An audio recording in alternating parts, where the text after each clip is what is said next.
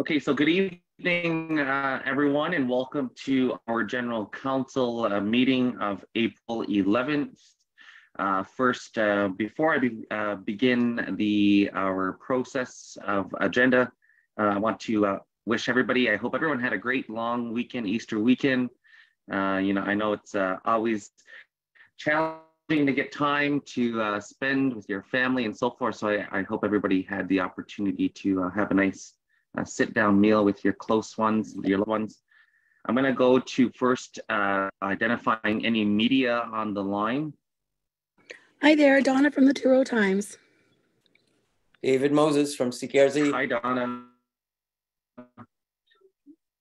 Hi, David. Hey. Now, for joining us this evening.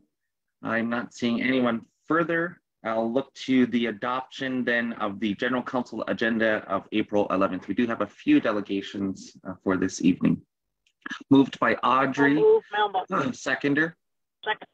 Second Melba. by Melba. Thank you, ladies. All in favor? Any opposed? Seeing or hearing none, motion is carried. Uh, our first delegation this evening, I know this has been a hot topic as we also just uh, celebrated uh, National Languages Day. We have Karen Sandy from our Six Nations Language Commission uh, presenting on overall program updates. Uh, so I'll, uh, without further ado, welcome Sago, Karen. F5. Can you hear us? Yes. Yes, we can.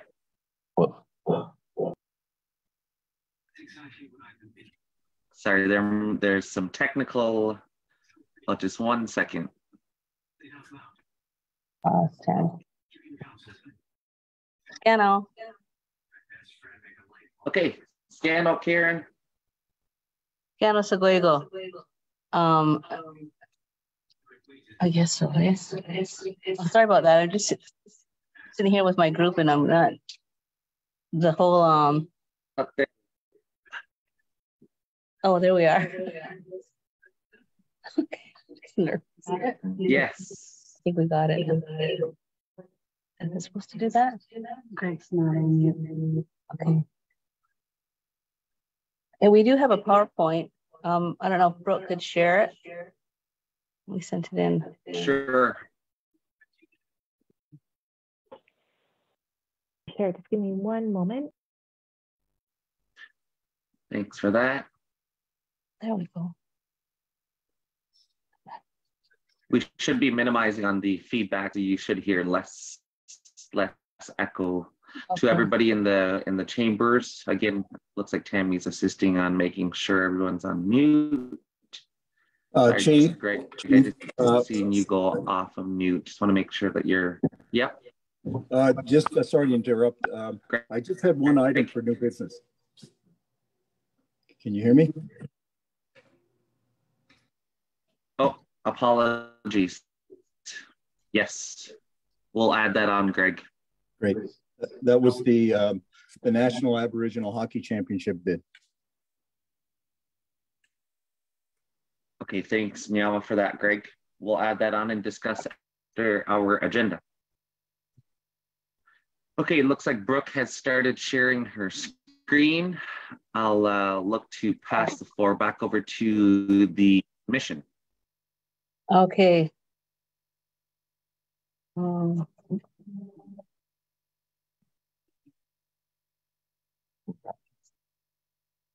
are we on?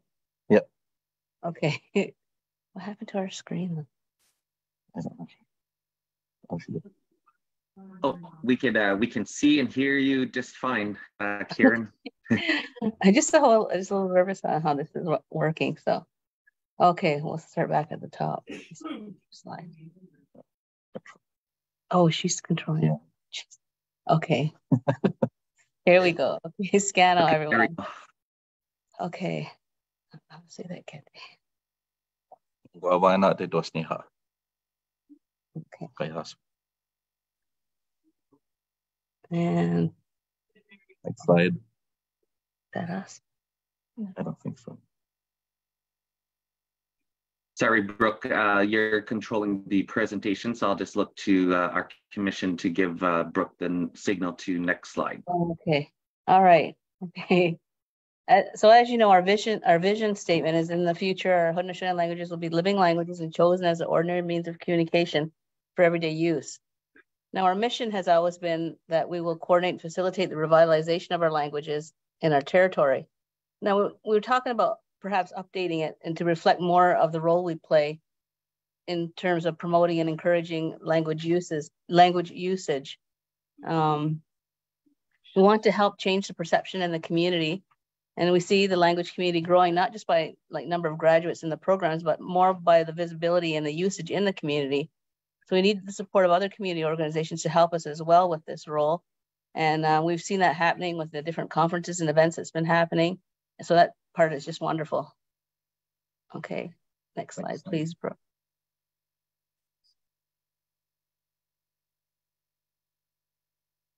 Okay, so our priority has always been proficiency, and that just just getting our people back to a level of language where English is used as an option, so not a requirement for everyday interactions. So this is something where we um, really want to upscale, I guess, is is looking at the usage and how we achieve that through our adult learning, our early years learning, and our resource creation. And this is our team here as well as I don't know if you can see Roja he's here too, and um, so they can just chime in to any point, any part. And we'll just hold all questions to the end if that's okay. Okay, next slide, please, Brooke. Okay, so the last time we were here was back in 2020, I believe, in January. We reported then that there were 750 individuals that had been through um, programming through day immersion, evening, and online uh, programming. So we had 450 alone that were from day immersion. And from now, there's at least over 500 people, and we're this including the years um, prior to 2014. And it's important because it gets you to the highest level of proficiency.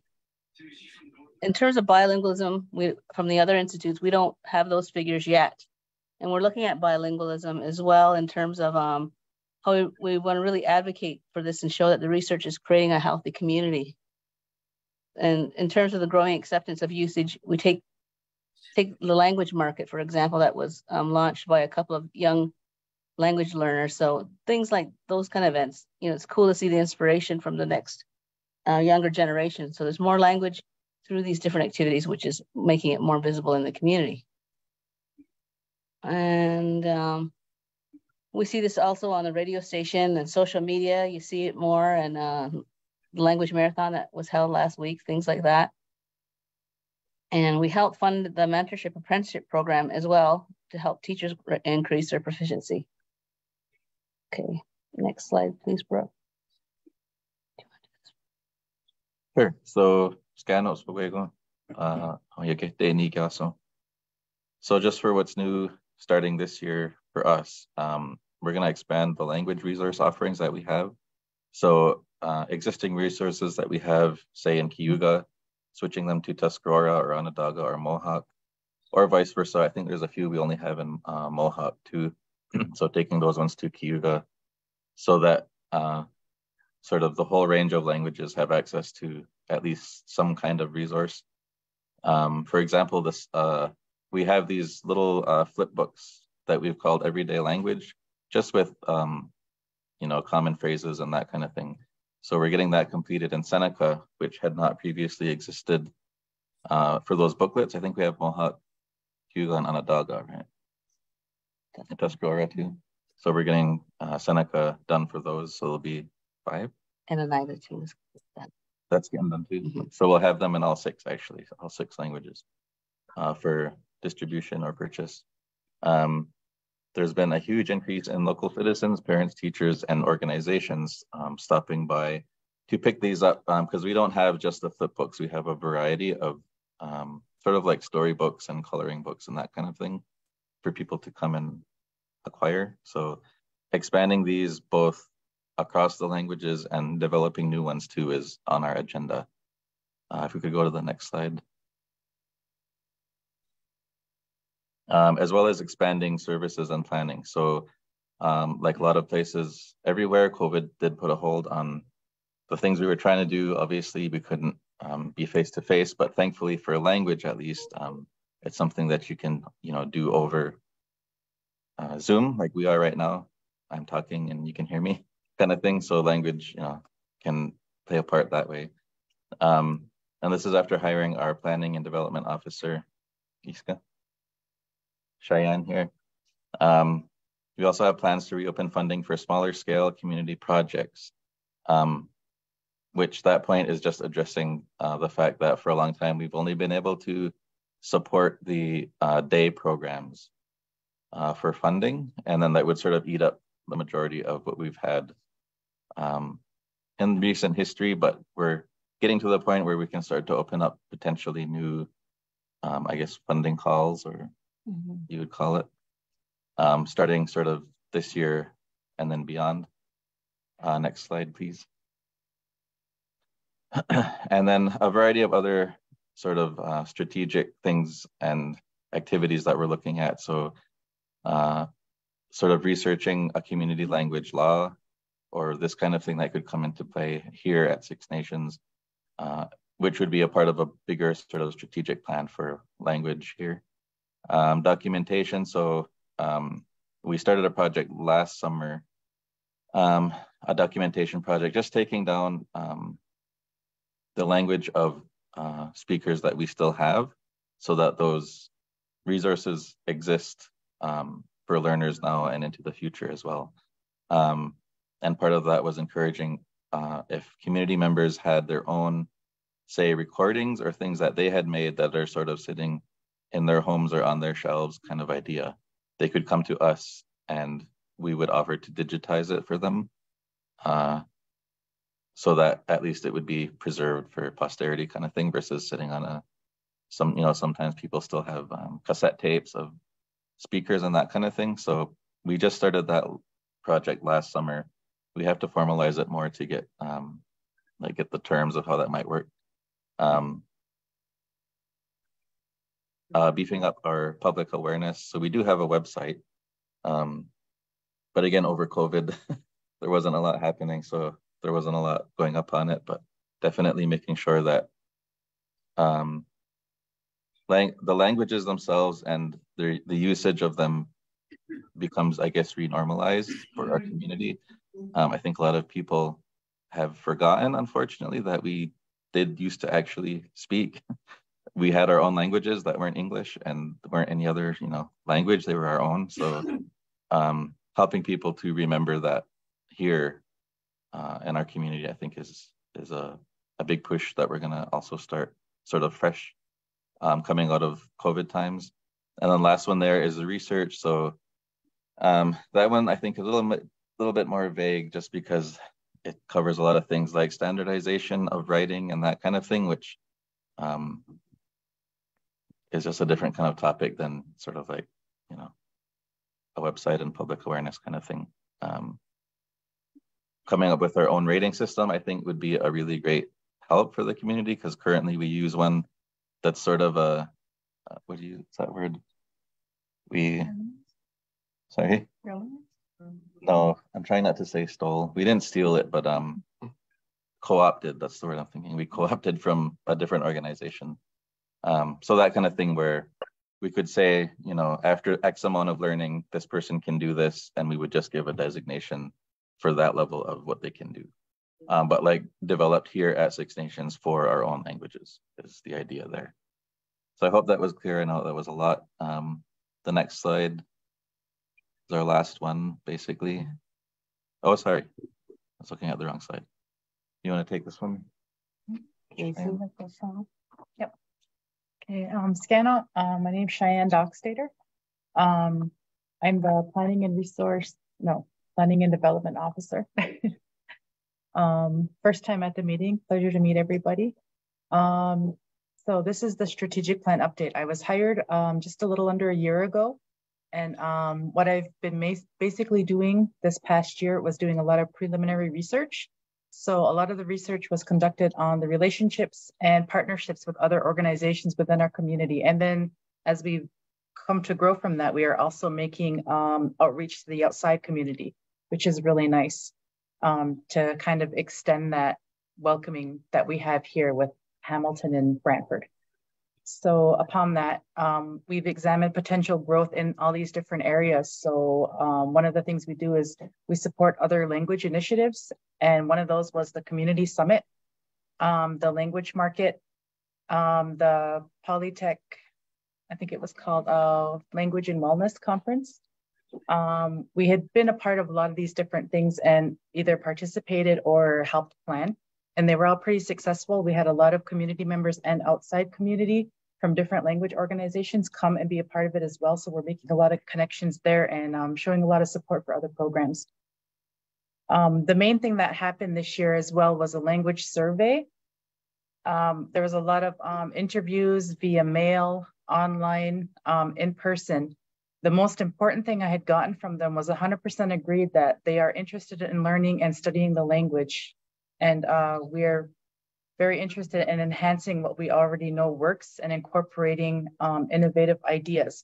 So one of those ideas is currently we are working um, in partnership with Brock University and a uh, other community member from here who is also a um, Gowanio, um, School graduate is um, virtual reality project where we're going to bring Gayokono to virtual reality for our students here. And it can be young students, older students, and adult and other learners. So those are some of the things we have, and we're trying to be more innovative and trying to bring more of a updated learning to our languages here at Six Nations. Okay. Kenzie, did you want to address this language market or no? Okay. That's Okay. Um, yeah, so, so that's Okay, yeah, so now uh, uh, to each.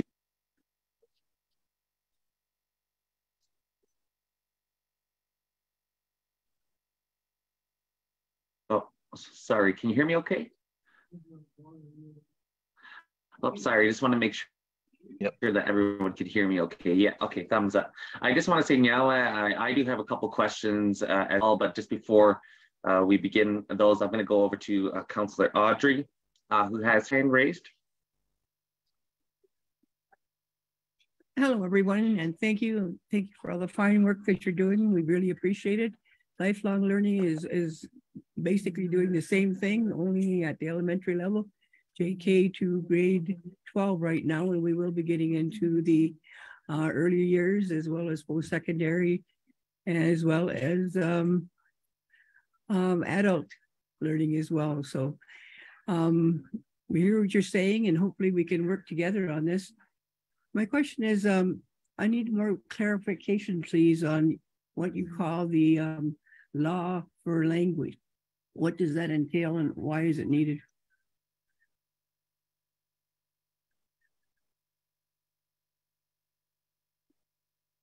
Okay, well, I guess it maybe another word for, for that would be just like a language policy. I don't know if you've seen the one that's in Kahnawake right now.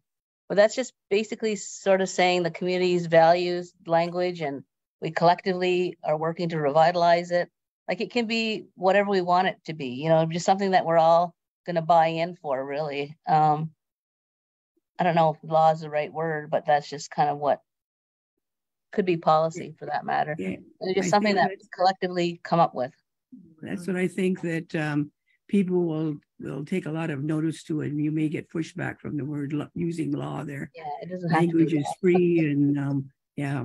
yeah. trying to think of something that better ca- uh, represents what you're doing. I appreciate yeah. that. Yeah. Okay, thanks. Excuse me. Thanks, uh, Audrey, for your question. Um, looking to any further questions or comments uh, for the commission. I just really quickly, uh, just uh, uh, while anyone is is looking to further ask question or comment, I wanted to ask in relation to what Audrey was saying as well.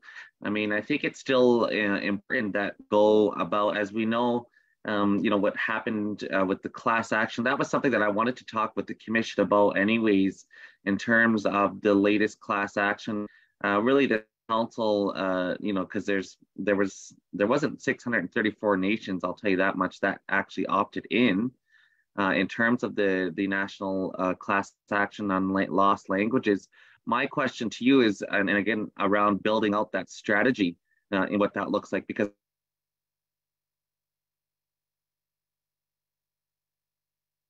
us as a community what that looks like. Um, and that's maybe, I'm not sure if you, uh, the commission has had time or had opportunity to discuss around, you know, the legalities of what that class action uh, spoke of.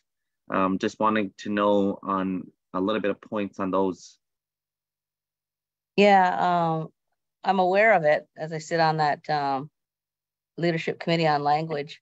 And I know Six Nations was not a part of it, as many communities were not a part of it. And um, but collectively as a group, we haven't had an opportunity to sort of look at what is currently there with that um, lawsuit. So it's certainly something we could, um, you know, entertain. Or yeah, I think. Yeah, sorry, Karen. I I think it might be uh, it might be best to start. You cut out. Keeps cutting out. Oh, my apologies. Sorry, can you hear me now? Yeah. Yeah, I just, uh, the reason I ask uh, in that question is because I think we need to really start to put our minds together uh, on what that actually looks like. Um, and I think that's something, uh, again, that is going to need as much participation as a community in that collective and what that looks like. Right. Uh, Sherry Lynn? Um, I'm just wondering where can myself and others get that pocketbook um, with the languages and how much are they? Okay, we have them right at the commission office, which is 50 Generations Drive at the Oneida Business Park. Now, if we get them sponsored, we give them away. Like sometimes we do get folks, um, organizations that sponsor it. Otherwise, we have to just we just try to sell them at cost of our printing, which is around four dollars each. Okay, thank you. Okay, thanks for that, Sherry Lynn. Are there any further questions or comments?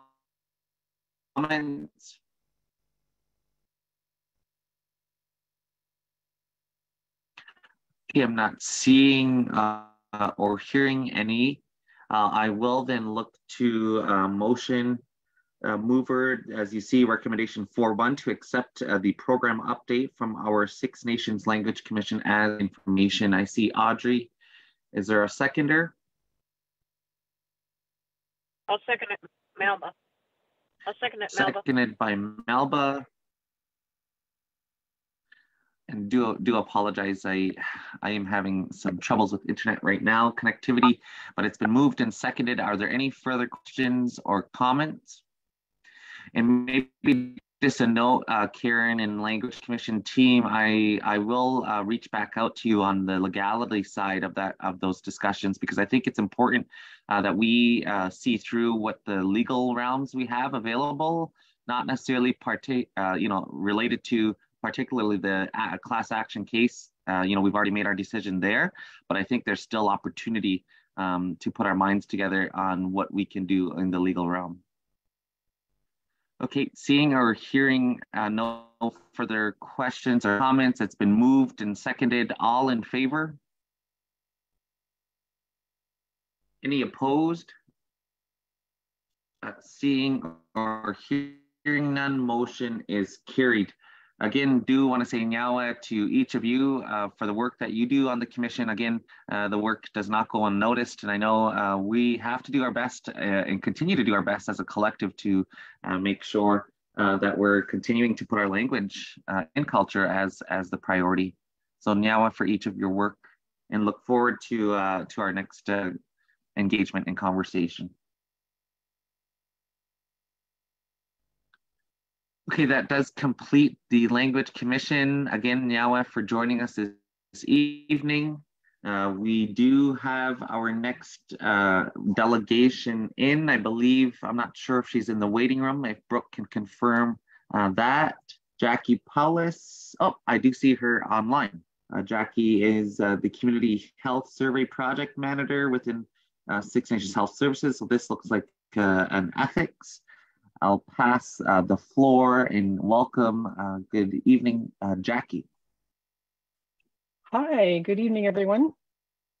Um, I have a. Oh, sorry, sorry, Jackie. Just really quickly, I see Audrey has her hand raised. Audrey.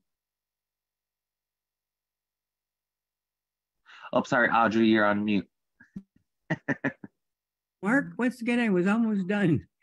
Welcome, Jackie and you. I would like to declare a conflict of interest. You want to put me out? Okay, that's fine.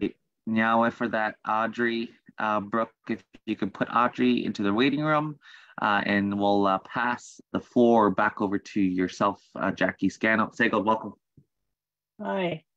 Um, I do have a PowerPoint presentation. If I could share my screen, I can go through that with you. Sure. You should you should have access to uh, okay. On your share screen.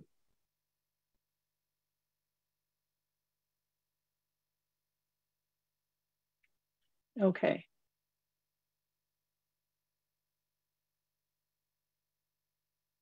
You can see it? Yes. Sorry, I can't hear anyone. Oh, apologies. Yes, we can see it. Okay. Okay, great. Okay, so um, I am the project manager for the Community Health Survey, um, which we have renamed the Ongwehongwe Health Check-In um, for various reasons. Um, to make it more Haudenosaunee, uh, the word survey has uh, negative connotations for many people, so we thought we would make it a little bit more uh, friendly and familiar. So we are preparing to do a pilot study uh, before we roll out the community-wide survey.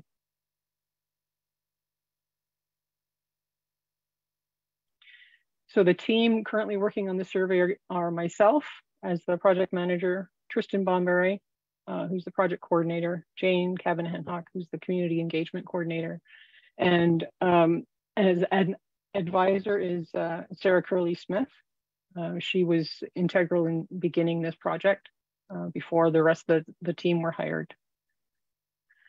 So what is the community health survey? It's um, is basically a health questionnaire. Uh, it will be done on a tablet or on a computer. It's been designed by us, by Six Nations, uh, for Six Nations, and it's intended to assess the current health status of the community.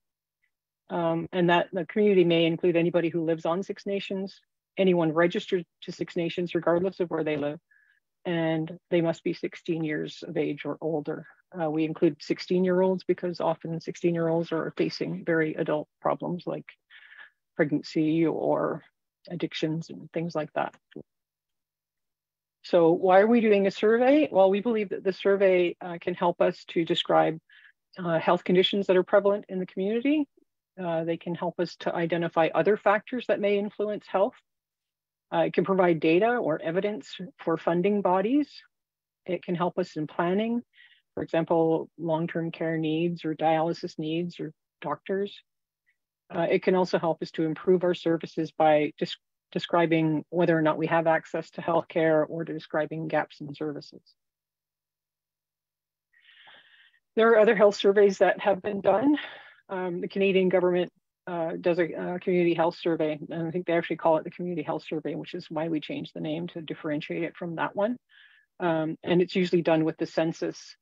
Um, they do not survey on reserve households anywhere in Canada. Um, they do sometimes capture Indigenous households uh, that are in cities. Six Nations does not participate in this survey. Uh, the regional health survey is run by First Nations Information Governance Center, and Six Nations also does not participate in this survey. And neither of these surveys really ask the kinds of questions that our community needs answered, the kind of questions that we want answered. So why do we need our own survey? We know that Indigenous people have higher rates of chronic disease and a shorter lifespan than other Canadians, than Canadians, and we don't really have all the information that we need to make a make a change in in these statistics. So our survey asks questions about all kinds of things, including individual health status and things like diet and exercise, those individual factors um, and behaviors. But there are other factors that are important in assessing health. And it's things like housing and education, access to clean water and good food, access to healthcare. And then there are other things that um, are sort of, I don't know, structural or societal problems, um, uh, results of colonization, for example, um, residential schools, trauma, loss of language and culture, social connections. So those are some of the things that we're going to be asking questions about in our survey. And we made it Six Nations specific. Um, we uh, collaborated with a lot of people uh, in the ethics package. There's a list of, of dozens of uh, uh people and organizations that we collaborated with in designing this survey. So it's designed by community members. It will be administered by us, by community members. We're intending to hire uh, local research assistants um, and we will train them if we have to. Um, it asks questions that are specific to Haudenosaunee culture and our history. And it's also designed to be very respectful, um, giving people the option of prefer not to answer. Some of these questions can be very sensitive and we're taking sort of a trauma-informed approach to uh, to not cause harm or or anxiety in anybody. So uh, we're being very careful about that. Uh, we'll be using software. So like I said, it will be an electronic survey. Um, so it will be cloud-based, it will be securely held, digital, uh, probably we'll be using laptops. So it will be password protected and encrypted, and they will have backup copies, and we will be controlling controlling access. Um, and it will be very limited access and only with uh, proper procedures and permissions. So we're beginning with a pilot study. Um, so the, the larger study is intended to, to try and survey maybe a thousand people from the community like, as a representative sample. But for this pilot study, we're, we're choosing a, a subset of the population. And, uh, and the purpose of doing this is to sort of test our procedures, uh, to test the survey questions to make sure that it's not too long or the questions are too sensitive or ambiguous, things like that. Um, so we may be revising the questions after this. Um, we'll be streamlining our procedures. Uh, we'll also be making partnerships with other organizations. So we um, are hoping to have uh, partners in Brantford and Hamilton because we know that we have large uh, populations there. And we're targeting a start date of May 2023. That might be uh, a little optimistic, but it'll be close to that, I hope. So this subpopulation that we're uh, targeting is uh, through collaboration at Health Services. Um, uh, health Services and the Crisis Crisis Hub have identified this population that they call the hidden homeless. So we don't really know how many people are experiencing or have experienced homelessness. Um, so we're kind of defining it as, as being unstably housed in the last 12 months. So that could be people who are living in transitional housing. So they're waiting for more permanent housing, or they may be in emergency shelters, or they could just be staying temporarily with friends or family, which is often called couch surfing, or they could be uh, living on the streets. Um, so the eligibility for this pilot study is you must be 16 or older. Um, you must have experienced unstable housing in the past 12 months and you live on Six Nations or all of those and you're a band member who lives off Six Nations. We're doing something called respondent driven sampling. Um, it's a little on the technical side, maybe beyond what you need, but it, it's basically we're encouraging uh, participants to recruit other people, people that they know um, who also meet the eligibility requirements. Um, so we're hoping as this, this uh, image shows that one person will recruit three and each of those people will recruit three and so on. Um,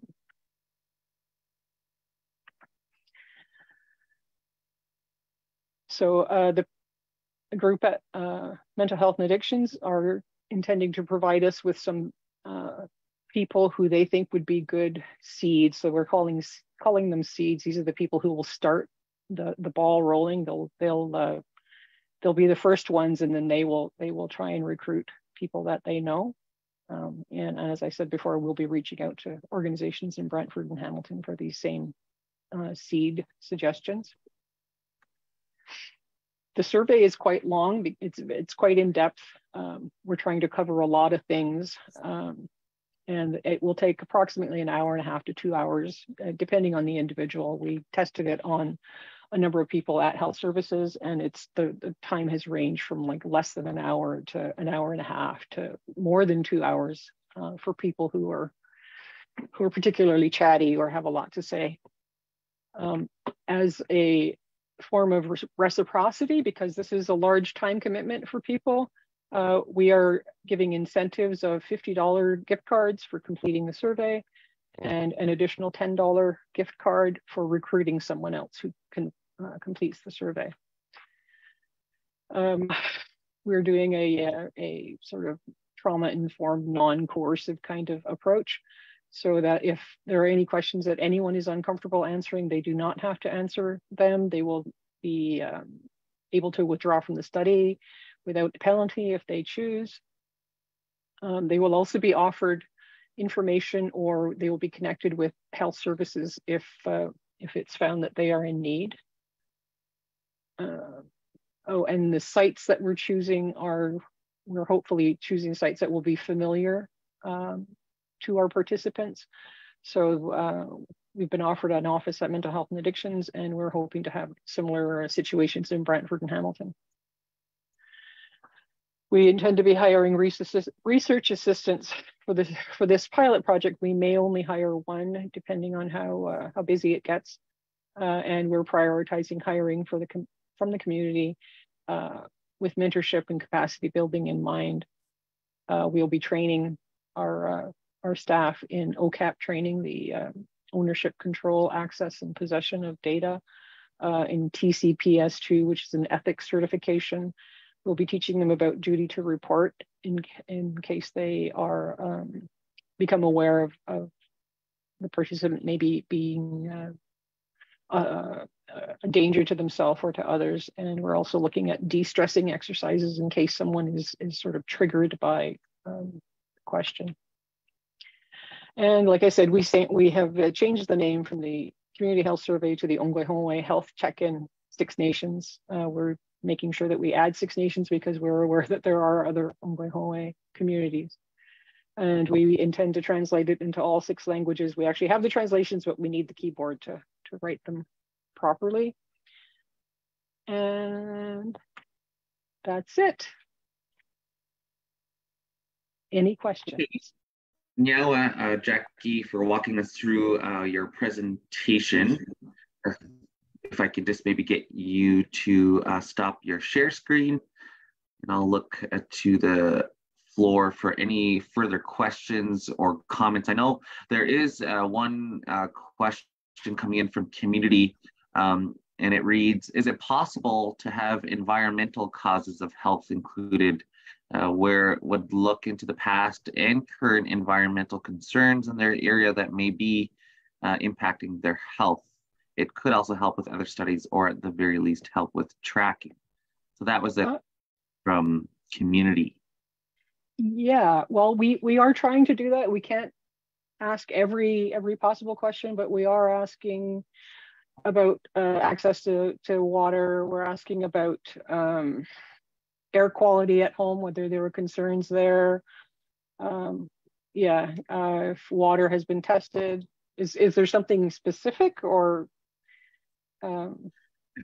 I think it was this more general generalization in terms of environmental impacts. Yeah, I, I don't think that we're not going and, and uh, you know, asking for soil samples and things like that, but um, we, we are trying to ask that as much as we can, um, given that you know some people will not know us, but particularly in the um, in the in the pilot study because they may be homeless, they may not have uh, information about their own land or or their environment in that respect.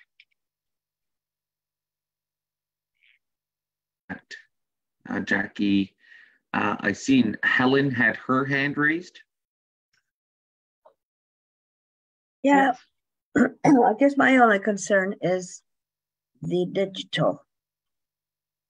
because we have so many people in our community that don't have computers or iPads, they don't have internet. Um, if they have internet, it's pretty sketchy. So I just have a concern with that if that's the only way it's being done. How are you going to deal with the ones that can't participate because they don't have what's needed? Okay, uh, I there's something that I omitted in my slide. Uh, all of these surveys will be done face to face. So we uh, we will have the computer in front of us. So we will be entering the data. Oh, okay. Yeah, yeah. And so our research assistants will go to Brantford. Um, for example, if someone has transportation issues, we also have um, permission to uh, use a a vehicle if we need to go and pick them up and drive them to uh, an appointment to do a survey. Um, and we also decided that we wanted this to be face to face so that we could check in with with the, the people who are completing the survey in case they do need services or if they need a break. Um, we, we want to be able to see them and, and Okay, respond to them. That sounds good. Thank you. Okay, uh, thanks, Nyala, for that. Uh, Helen, are there any further questions or comments for Jackie? I see Darren has his hand raised. Over to you, Darren. Uh, yeah, thanks, Jackie. I really appreciate the presentation. Uh, I think your methodology is sound. It's, it's very good. Uh, I think in terms of a thousand, I think that's that's a, a high number. Um, just from my, my past experience and doing surveys, uh, it's it's going to be hard to attain that. I but I do I do think the incentives are, are good. My only question was in terms of how you're driving the sample size. Is there a checkpoint in terms of representation geographically within the community as well? I think sometimes that's that's overlooked. Um, just in terms of access to services, uh, some of the questions that you raised in terms of symptomatic or framework contributors to health, uh, I think those are really good. But just in terms of that, if there's, is there some point in the methodology where you you do a checkpoint on that? That was my only question. Thanks. Okay, um, well, for the pilot study, we really don't know what the number is. Um, that's that's part of what we're trying to do is try and find out what, what how big the problem is, how pervasive it is in in in all the, all three of these communities. So we don't know um, for the pilot study, and for the larger study, we're in con we're in communication and getting advice from statisticians and uh, academics who have used this process um, in Toronto and Hamilton and Winnipeg and London and so on. So we are getting advice from them um, from a statistical point of view. Um, and yeah, we as we recruit people, uh, we will be asking how they how they um, how they were referred. So how do you know the person who referred you to this study? So that'll give us an indication of what that network is that that connected them. So it may be like, is it church that connect that those people or lacrosse, they're on the same team or we work together or something like that. So that will give us sort of an indication of whether or not we're getting uh, people from different sort of pockets of the reserve. Um, I was involved with the, an ongoing study, the COVID community study, uh, which is about to wrap up. And we managed to recruit, I forget the exact number, but it's in the neighborhood of 750 people for that study. So I don't think that a thousand is um, is is that much of a reach. Um, and and the thing that we were uh, informed of from other um, groups that have done this kind of work is that because it was done by a First Nations organization and for First Nations people, like it had no government involvement, uh, the participants were more willing to help out because they felt a, a sense of ownership of it and they um, they I don't know felt some pride in it and they felt like they were contributing. So I'm I'm very uh, hopeful, optimistic that we will have the same. Good good luck. Yeah. Does that answer your question, Darren? Yeah, it does. Thanks, Jackie. I, I just know that from experience, it's been a bit of a struggle to get beyond 500, but uh, I appreciate that and, and the strategies you're employing make sense to me. Thanks. Danielle, uh, for that, uh, uh, and Jackie, I see Greg has his hand raised. Yeah, hi, um, hi, Jackie. Yeah, it's a good initiative. It Seems like it's gonna give, uh, bear out some good, um, information. Now, are you in the, in the final study, are you going to, um, extrapolate data and compare it to, uh, indigenous versus non-indigenous with the same housing situations? Is that, is that the overall goal to, to do a comparative study in the end? And to see where there are differences or needs that can be addressed? Uh, yeah, we are we are designing the survey so that it it is compatible and comparable with the regional health survey and the Canadian Community Health Survey. So we're collecting some of the same data, but we're also collecting data that that uh, people at Six Nations want. So yeah, it will be comparable. Um, that's not the only goal, but it's one of the goals. So uh, just to follow up, Chief, um, so then we can use, um, from a political aspect, we can use that information um, to, to address the needs and look for other areas of funding, look for um, target areas where the government should be targeting. And that uh, in the long run, it may be a very uh, strong political tool for us uh, to address some of our needs. Right, that's exactly what uh, what we're looking at. We understand that funding bodies they want they want this evidence, they want data, right? So this is this is us getting data to show them uh, what the needs are, what the gaps are, um, and it'll also be a good thing for us to actually show that we're making progress. So this is not going to be just a one-off thing. We anticipate that we'll do it over and over again over I don't know maybe the course of five or ten years. It'll be repeated, and then maybe maybe that will be some proof to show that here and here's an initiative that we did and look we have less diabetes or we have less obesity or we have more employment or i don't know something like that that's that's kind of how we're hoping to use this in the future too Great, thank you. Thank you. I think I think you uh, you hit the the nail on the head, uh, Greg. Uh, just on on your comments, I think it's it's you know this is something I think even with Nathan and Michelle has has been working on in terms of the streamlining of ethic approval, uh, uh, rather ethic applications to see rather you know what is it that we can uh, really use as our political um, advocacy, much like what you've just mentioned, Greg, in terms of you know the then drive out what our plan looks like and so forth. So do appreciate that last question and comment. Are there any further questions or comments for Jackie and her application or presentation?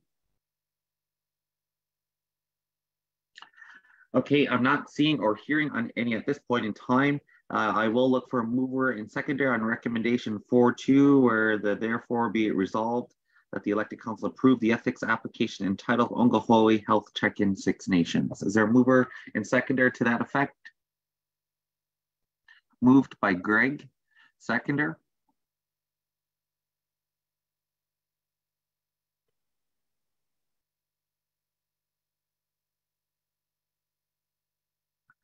A second call for a seconder on the motion, I'll second that, Chief.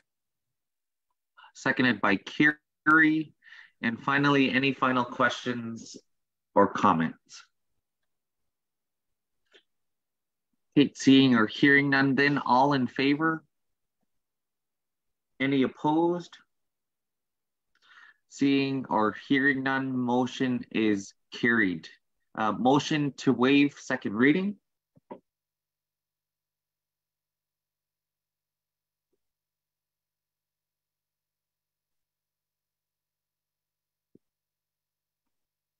Yeah, go, go ahead, Chief.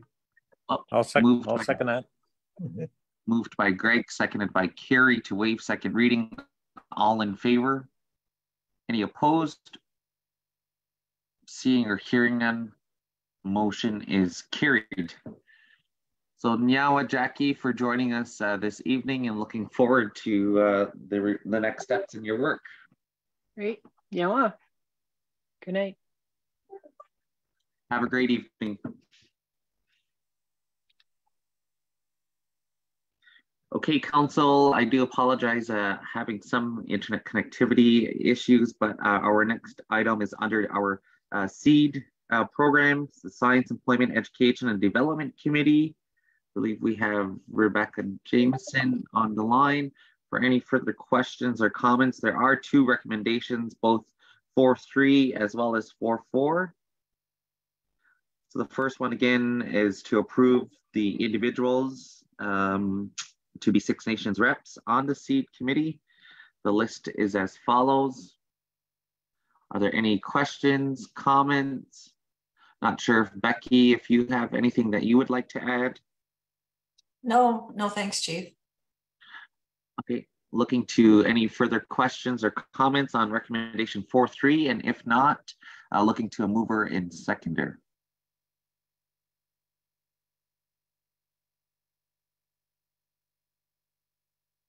Move, Chief. Again, this is for, okay, thank you. Uh, Audrey, seconder, I'll second it, Chief. seconded by Greg. All in favor? Any opposed? Seeing or hearing none, motion is carried. Uh, recommendation four four. Again, these, this is for the- the, therefore be it resolved uh, that our council accept as information the allocation of twelve uh, 2022 SEED scholarships for Six Nations, which have been uh, completed and that the successful applicants be recognized for their accomplishments. Looking to any questions or comments on recommendation 4-4, and if not, looking to a mover and seconder.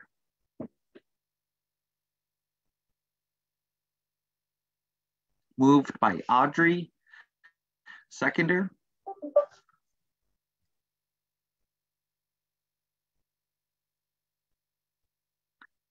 I'll second it. Second call for the seconder, Greg.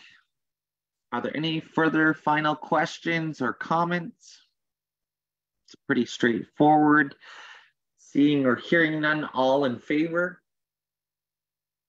Any opposed? Seeing or hearing none, motion is carried. Motion to waive second reading on the two previous motions.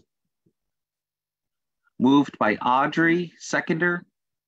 Second by Greg. All in favor? Any opposed? Seeing or hearing none, motion is carried. Okay, now uh, Becky for joining us uh, this evening. It was pretty straightforward. Thank you. Thank you very much. Have a great evening.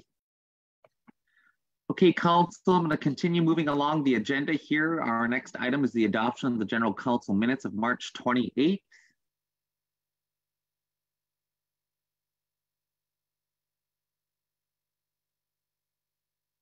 Moved by Nathan, seconded by Helen. Are there any further questions or comments in relation to the minutes? Okay, seeing or hearing none, all in favor? Any opposed? Seeing or hearing none, motion is carried. Uh, the next item, council reports. We do, there's one, Helen. I'm not sure. I know Helen had had some issues. We didn't get, I'm not sure if we got your book yet back yet. we were, as we know, we were, uh, council knows we were all in Ottawa last week. However, we'll also be developing, there was a number of resolutions and so forth. So we have that package forthcoming to council as well. So maybe I'll just pass it over to Helen for any of her thoughts. Yeah, I can do brief briefly. Uh, first of all, I was quite disappointed in the AFN because everything was mostly in French. um, they, they never had the resolutions up on the board, on the screens or nothing. All they had was the French ones up there. So I, I, I really got, I was disappointed because, you know, if you don't have the resolutions, you don't get to read them. And if it's all just in French, then you know, there was a lot, probably a lot of people that didn't really know what was going on. I don't know why it was like that. It normally isn't like that, but it was really French centered this time. Anyway, um, another thing, like I attended the, the leadership council on the Sunday night, Mark, uh, for Mark, and they discussed different things. It was in camp the leadership was in camera, so I can't really say what they were talking about, but there was a big discussion on different things. It was mainly around the event. Um, then, then when I went to the the um, caucus, I was feeling lost because a lot some of the issues that there was being discussed, I I didn't know a whole lot about it. Also, for example, they were talking about the uh, reviewing and changing the 65 welfare agreement. Well, we've never talked about that at, here at council. So I wasn't that up to in the loop as to what they were doing. I remember Chief Montour, Bill Montour, and Wellington Staats and Steve Williams, they've always fought against the feds wanting to change the 65 welfare agreement. When I went to the uh, caucus meeting, the, the health directors for the chiefs of Ontario thought it was great news because they were going to sit down and co-develop a new health welfare agreement. So I was really kind of confused about that. The feds have been trying to change that thing for years they're trying to get out of it. They want to stick us out to Ontario for welfare. So I was a bit concerned about that because I don't know whose responsibility it was to bring it to us, whether it was Sandy Porter as the director of um, welfare or whether it's Arliss as the director of social, because we're not having committees anymore. We're not getting up to speed on all of these different issues that are taking place. So Sorry, it's confusing. The health legislation as well. I I felt kind of lost on that because we haven't really talked about that either, and um, different things. I, but I learned a lot, so that was the important thing. And then uh, the actual assembly itself, and, and uh, there was a big issue with education because the AFN Education Committee is trying to change the formula. There was a big discussion on that. That went on for two almost two days thankfully it, it never got supported. Um, Ontario contingent of Ontario, Mark can probably tell you about that. Ontario chiefs all stood up and uh, opposed that resolution. Um, and the child welfare, of course, that was the big one, the announcement. But I, I found out in a caucus meeting, there's a lot of things going on with child welfare that we're not aware of either, besides the compensation part of it. So I, I was wondering if maybe Arliss shouldn't be keeping us informed as to what's going on. Um, and what was the other big one they talked about was health and education and child welfare. I think those were the main ones that was being discussed. Oh, and Canada's action plan um, regarding the uh, UNDRIP, that was a big one too. Big discussion about that one but it was hard because like when they put a, when they do a resolution there were so many amendments to it that it's really hard to keep up if it's not on a screen where you can see it. So i know a lot and i there was other a couple other chiefs complaining about that as well. But that was a big discussion that that uh, action canada's action plan. So those were the main ones they talked about. And um, Mark can let you know what he was doing. He posed some of the, he uh, spoke against some of the resolutions they had. And the, the, the biggest gist of the whole seemed to be the whole resolution was uh, the conference was passing all of these resolutions that were supposed to be passed the last conference. There was a whole list of them that never got passed in July. So they were all brought to this one to try and get them through, and they were struggling to get them through. So then they started doing these omnibus resolutions. They put four or five resolutions in, under the one um, resolution. So they tried to do it that way. So it, it was, but I learned a lot, and I'm glad I went. Okay, thanks, uh, and Helen, for your update. And again, there'll be more of a, a detailed update forthcoming from from our office. Helen uh, touched a little bit on on the on basically what the gist was of the the kind of um, the you know the heavier topics that that we discussed. Um, that I know Nathan, just to clarify, I know Nathan has brought, and this is something that we've seen uh, in terms of the um, 65, uh, the welfare 65 agreement I know there's been updates forthcoming on on that front uh, to start to get us in the mindset of what the what does it look like in next steps. So that's now get got uh, to um, uh, us as full council, and I know Arliss and thanks to that uh, for that Tammy is is is planning to come, and I know she's been coming to update us on the the bigger file itself of child welfare because there was uh, obviously a lot of work uh, done and finally passed on behalf of you know Blackstock had issues with uh, you know a group of of uh, children basically being left out of the original agreement that was looked to be being approved last year. Um, there was back and forth, so that now had gotten the negotiations to the point of where we passed it at this last assembly but I think there was, you know, the the the big I think the biggest takeaway from this assembly is that action plan is the UNDRA and what that looks like because we know Canada is is is moving full force. They're right now in phase two of engagement where they'll need obviously uh, you know voices collected on what that action plan looks like when it's on you know on the ground within communities and so that's something that our office is is working on to uh, submit to our feedback uh, on phase two of UNDRA and what that looks like. So there, that was the main takeaway from for me. Again, it's a, and we'll get this all sent out to council for your own perusal and your own research. It's about a 40 page, 45 page document uh, the, that basically outlines the sector and, and as well as who and what ministry it falls under. Uh, and so there's a lot of work happening uh, on uh, obviously Indigenous services side as well as Miller side relations there's uh, you know there's there's things that we need to flag and really what i liked about it is is um, I, I believe jfk sarah mainville did uh, their own analysis on uh, UNDRA itself and so i wouldn't even mind actually we had a discussion of getting uh, that analysis into council to, to kind of start and set our minds around what that looks like and the impacts to us uh, specifically at Six Nations.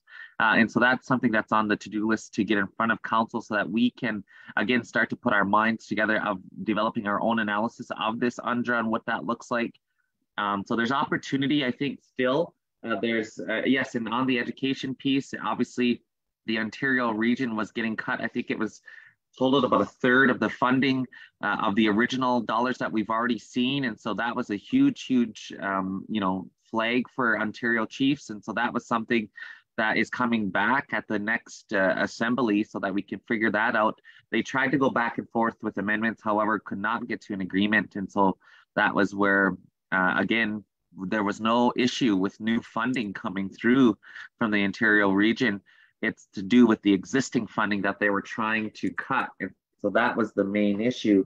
Uh, and it ultimately, you know, the I think one of the main main goals, or rather not goals, main points uh, on the education front was, you know, as we're sitting here uh, region to region arguing over peanuts, uh, that's something that we need to further discuss with the federal government is, you know, looking at why you're already trying to cut an area that is already underfunded and yet we're all looking at different regions and why regions are getting more than others. And so that's something uh, that i thought was um, really interesting is why we're as regions uh, now kind of subject against each other when yet it's peanuts to begin with uh, so that's uh, and that was something from uh, chief chief Dubosky who raised that good point uh, but nonetheless again this um, we will be having her come in to uh, council, Sarah Mainville, to kind of go over and get our mindset into uh, submitting our our plans, or rather our input for phase two of UNDRA and what that looks like. Uh, so that's uh, that's something that's going to happen quite quickly, to be honest. But other than that, you'll see a more detailed report come forward on the specific resolutions. There was roughly about 30, 34 resolutions uh, as well as um, a few uh, emergency resolutions, and as well as we'll look into the omnibus packages. That was also kind of an, an omnibus always comes with issues because they're trying to move as quickly as they, they can by putting three, four, five resolutions together. But say, for example, some chiefs are okay with two of those omnibus packages resolutions, but have issues with three. So you know, it's it's that that is always a challenge, I think, in assemblies uh, when going to omnibus uh, packages. Uh, Sherry Lynn. Um, yeah, I guess also too for this child welfare, um, this human rights uh, court case that's been government just did billions of dollars to. I guess yeah. what when will that information be going out to the community. I know it's just kind of um, got passed and stuff, but at least to, to, to start letting them know what it's about um, who could be, who's eligible, those kinds of things. So um, we're not behind the eight ball and everybody's aware of um, it and who can be eligible for it because it's huge. It's very huge. So yes, um, just to have the information out. Yes, uh, so that's a good point, uh, Sherilyn. In fact, again, we're having Arliss come into our next political liaison to really start to, because you know, we our updates from Arliss has, has always been, you know, getting to this point of approval of chiefs and assembly. So now that we're, you know, past that point, it's now getting down to the ground on the ground and what that looks like. So uh, we'll look to make sure Arliss uh, has that clear direction in making sure okay. Uh, Monday's political liaison that, uh, you know, it's starting to get br- broken down and communicated to to community. Yeah and yeah and just a follow-up i guess to that um that and um also be put can it be put in our um, council newsletters um even you know in the papers those kinds of things to uh just get people thinking and aware of this settlement Yes, totally agree. So we'll we'll start to work on those pieces. In fact, community can start and uh, actually see in our public forum of political liaison. Uh, Helen? Yeah, I just wanted to add to that. Um, it's not going to, they they talked about, because somebody had stood up and asked that question is when can it, when is it going to start? Can people start applying for it? And um, they said it was going to be a while yet because there's certain things that have to get done. There's something else that has to get approved by the legislation or something and different things like that. And, and, and um, it sounds to me like the application is going to be really extensive. And I'm, if I remember correctly, they said that you could hire, they were going to hire people to help with the application. They, they, they call uh, like a navigator type person or something, because it sounds like the application is really extensive. So those kinds of things they were talking about, but they're all coming later. So that's the important part, I think, to let people know is that the money's not going to come next month. It's going to be a while yet before anybody starts getting any money. Yeah, that's definitely a good point. And I think just uh, one of those other points, I know Helen, uh, just on the application, they they want to make sure that it's as simplified as possible. So it's not going to, you know, obviously what we've seen because I know it was going back and forth of the extensive extensiveness of some of the other applica- applications like day school or residential school or the class actions. So they're they're doing their best to to work on what that looks like. But do you agree with Helen's point of you know it's not going to be tomorrow or next month, but yet I think to share Lynn's point, we can at least start to get out to community so that we can prep for what's next. And so that's something that we'll have Arliss um, look to uh, a full-on comms plan on what this looks like. Are there any further questions or comments for Helen's verbal update? Again, there'll be a more detailed written update for full council on the resolutions and that were uh, either abstained uh, or uh, agreed upon or as, uh, as, as well opposed. Okay, I'm not seeing or hearing that. I'll look to a mover to accept Helen's verbal update of the Special Chiefs Assembly. Moved by Audrey, seconder. I'll second it, Melba.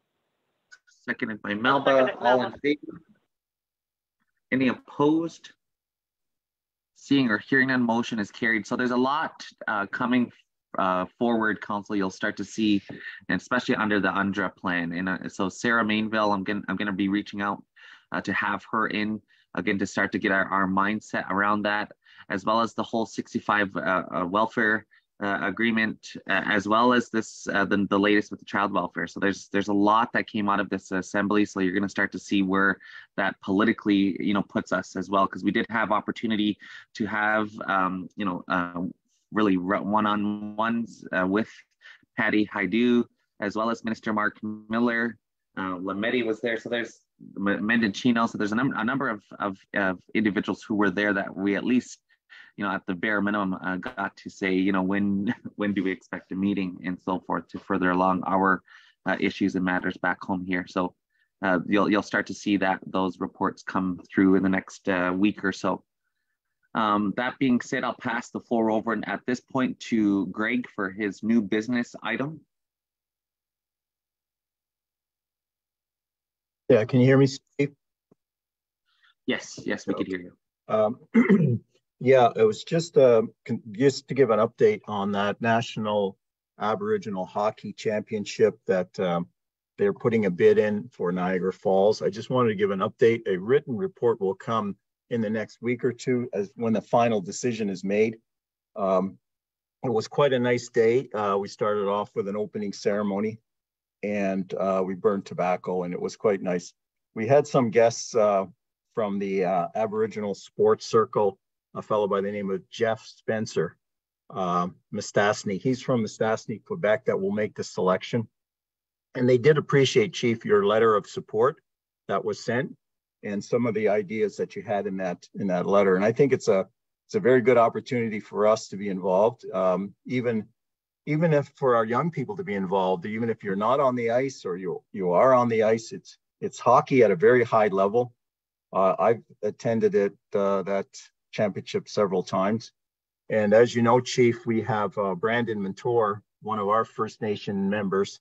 He participated in that, and uh, these are really stepping stones for our youth to um, proceed on and further uh, other endeavors, not only just hockey. Um, and as you know, he, I think oh, you were at the game, Chief, when he scored the uh, the winner in overtime, I believe, a couple of weeks ago against Toronto. So he is a very uh, prolific uh, hockey player, and we're very proud of him to be from Six Nations.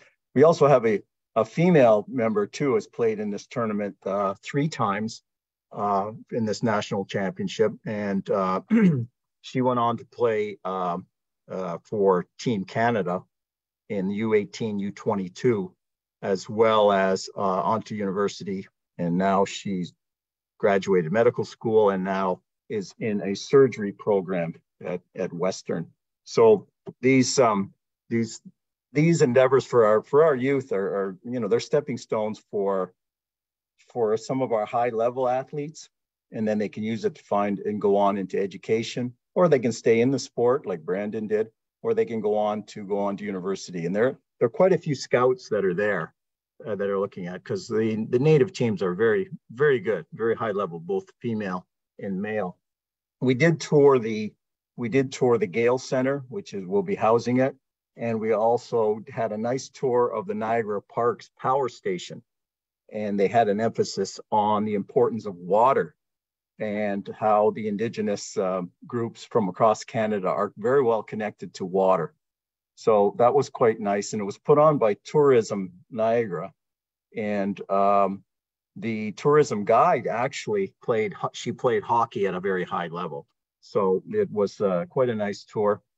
We had lunch, and um, it was uh, a very good day. And I think that uh, going further that uh, I think we should support this and encourage uh, some of our members to participate, whether it's in the cultural events, in the food, uh, and whatever we can. I think we should we should really help them out. And just as a side note, um, uh, Jeff Spencer, I've known him for uh, 20 some odd years, uh, being involved with Eastern Door in the North. They represented Quebec, and um, he's been involved with it. And he was very positive. So it looks it looks very positive, and I think uh, we will know probably in the next couple of weeks, and that will be held at the first week in uh, believe it's in May of 2024. So that was just just a few highlights. Like I said, a written report will come when a decision is made, because there's another uh, group in Saskatchewan that's making a bid, and uh, I just think it'd be very good for our community to be involved. I'm also going to be meeting the CEO of, uh, of Tourism Niagara to push it along a little bit further and also to emphasize our support from Six Nations. And also at the same time, maybe we can develop a rapport with, uh, with Tourism Niagara so that we can, you know, have further events or further contacts. And they were very supportive. They were supportive in, in maybe providing uh, venues and other, the giving park tours, giving park space for our youth to our ceremonies, and uh, they were they were quite positive to help. So that was just uh, just the highlights. And like I said, a written report will follow. Thanks, Chief. I do do appreciate that uh, that uh, work. Uh, thanks, uh, Greg, for for attending, and look forward to uh, to the written update. Are there any questions or comments for Greg's uh, verbal update? Okay, I'm not seeing or hearing none, but I will just by virtue of uh, accepting on the record, I'll look to a mover and seconder to accept Greg's verbal update. Moved by Nathan, seconder, Second, Sherlyn. seconded by Sherry Lynn. All in favor? Any opposed? Seeing or hearing none, motion is carried. So that, that does uh, complete our agenda for this evening of General Council. I will at this point in time look for a mover and seconder for adjournment.